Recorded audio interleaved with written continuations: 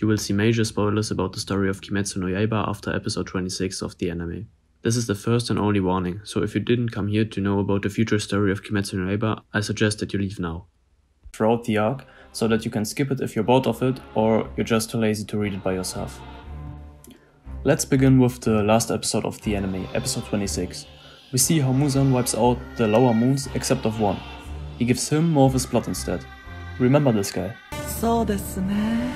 Then the set switches back to Tanjiro, Zenitsu and Inosuke. Tanjiro's crow wakes them up and tells them to join Rengoku, the flame pillar on the Infinity Train, because there are people missing. Tanjiro also wants to join Rengoku because he could know about the dance of the fire god, or the Breath of fire, which his father used to perform. Anyways, they eventually proceed to the train. Inosuke thinks it's the master of the land and wants to fight it. Tanjiro thinks it's an guardian spirit, and Zenitsu thinks he's surrounded by idiots once more. That's pretty much the point where the anime ends.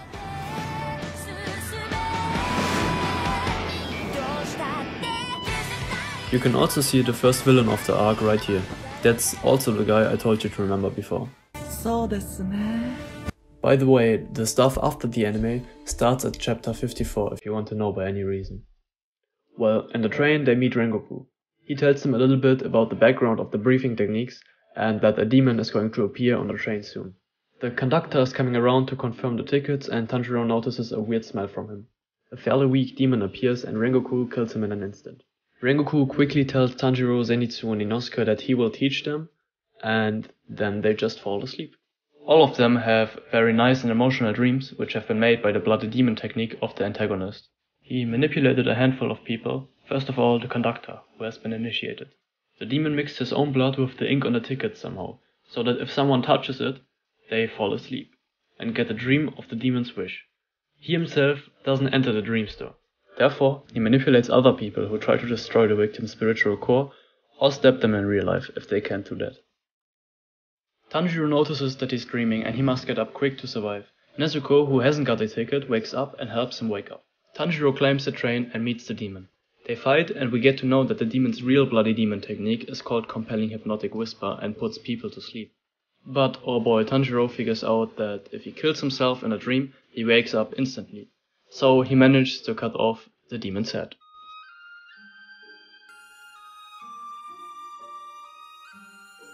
But it appears that the demon isn't dead just yet.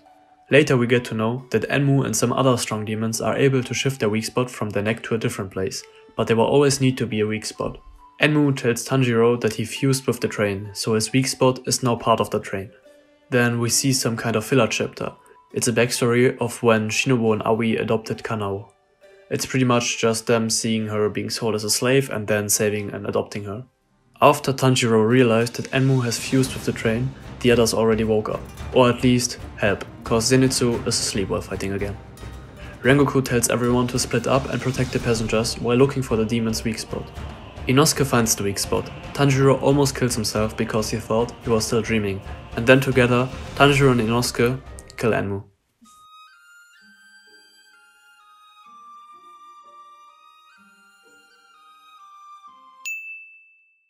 The whole train erupts, everyone is exhausted and Rengoku tells Tanjiro that he can stop his bleeding by his breath. Suddenly another demon appears, but it isn't just any demon. It is Moon 3, Akaza. That means he is the fourth strongest demon after Muzan himself. Akaza goes for the kill on Tanjiro, but Rengoku saves him. He then tells Rengoku that he wants him to become a demon. Obviously, he declines. They have a little fight and after a while Rengoku looks pretty beaten up. Tanjiro and Inosuke have long realized that those two are on a completely different level than them, and they would only get in Rengoku's way if they were to join. Then we see a scene from the announcement. Rengoku fights till the end. Akaza punches a hole in his stomach and hears a flashback of his mom telling him that it is the duty of the strong people to save the weak. Rengoku manages to get a hit on Akaza's neck, but he can't cut through it. Tanjiro and Inosuke notice their chance to help now. The dawn is coming as well, which is in their favor, because Akaza obviously will die instantly in the sun. Akaza knows that of course, and tries to leave, knowing Rengoku will probably die. Tanjiro and Inosuke manage to cut off Akaza's arms, but he manages to escape anyways. Tanjiro lands one final hit on him, by throwing his sword after him, which didn't really help much, but got him in some serious trouble afterward. After Akaza escaped, Rengoku tells the others that he will die, and he wants to have a final chat with them. We also get to see a pretty nice artwork of him here, which I just wanted to show you. Anyways, he tells Tanjiro to visit his family's house, because they might have some information about the Dance of the Fire God. He also tells him that he believes in Nezuko now, after he has seen her save humans in a train before. Rengoku then sees an illusion of his mom. He asks her if he has done everything right. She tells him he did, and he dies with a lovely smile on his face. Obviously, Tanjiro, Inosuke and Zenitsu are very sad and wish they would have been stronger to help him. We see Akaza report to Muzan. He tells him what happened. Muzan is disappointed that Akaza only killed one of the demon hunters, even though it was a pillar. He also wanted him to find out about the blue spider Lily, and got pretty angry. Akaza returns to the battlefield and destroys Tanjiro's blade, which he left behind by whatever reason. Meanwhile, Tanjiro visits Rengoku's family, as he told him to. Of course he tells them what Rengoku told him to, but more interesting is what Rengoku's dad knows about Tanjiro's earrings. He says they contain the symbol of the breath of the sun, and it is the original breath, the first one ever created, and thinks that Tanjiro only came to show off. He was also bad-mouthing his son, which you can imagine made Tanjiro hella angry. So he had headbutted him. By the way, he was a former pillar.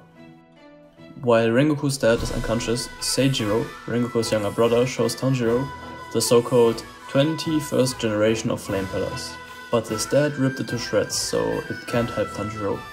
Before he leaves, Senjuro hands Tanjiro the guard of Rengoku's sword, Finally, we see the consequences of Tanjiro throwing his sword after the demon. His swordsmith Haganezuka is going wild again.